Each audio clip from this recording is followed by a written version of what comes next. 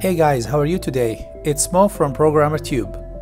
Today I want to show you how to remove duplicates from a string in CC++. So let's jump right into Visual Studio.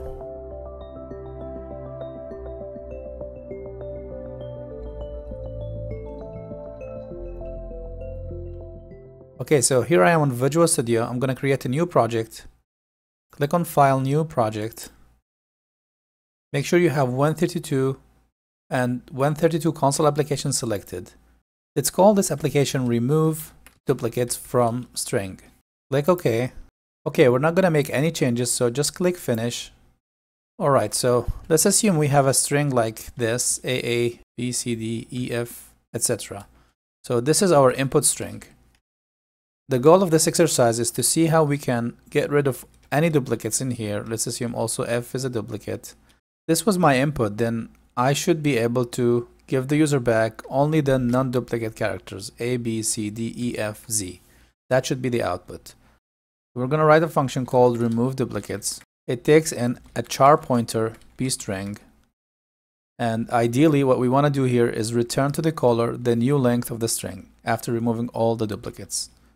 So the first thing we always do is check for invalid input parameters. So if the string was empty or null, basically we can't do anything. So let's say if not pster or not contents of pster, in that case we return zero.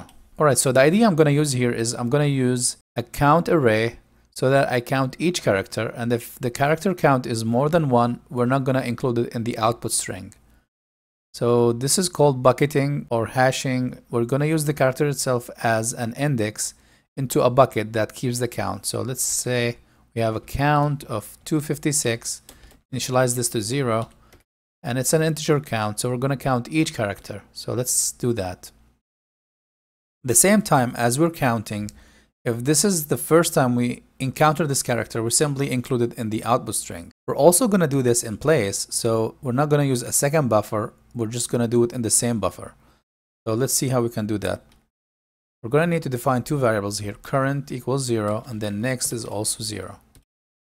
And then a while loop that says while pster of current is not the null character. Do it this way. Then we have a while loop and then eventually we're going to say plus plus current. So this is going to be a loop that walks over all the elements in the string. Alright, so what we do next is as following. We say if the plus plus count of the string element that we're currently at, this is 1, what do we do? Okay, so basically what we're doing here is we're doing two things at the same time. We're actually incrementing the count at the location of this character and also checking if that increment is equal to 1. So basically the first time we encounter this character. If that's the case, what we do here is basically included in the output string. So since we're doing in place, we're going to say pster of next plus plus equals pster of current. Finally, after we're done with the while loop, we need to null terminate this. So we say p of next equals null character. So this way we null terminate the string.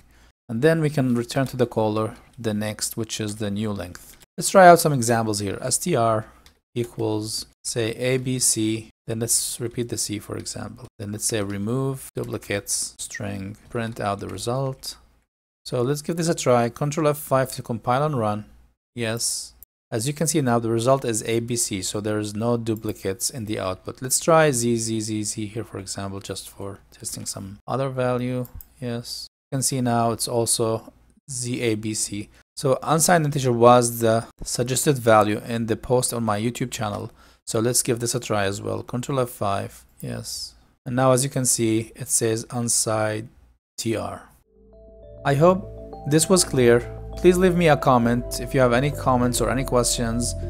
And please don't forget to subscribe to my channel, like my videos, and see you in future videos. Thank you for watching.